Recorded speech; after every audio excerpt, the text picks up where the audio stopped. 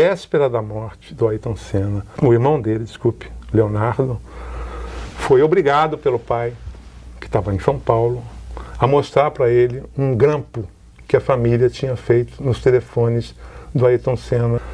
Ao mesmo tempo, é preciso dizer que não havia ali nenhum indício, nem que, tipo assim, foi bom ontem, então vai ser bom amanhã, entendeu?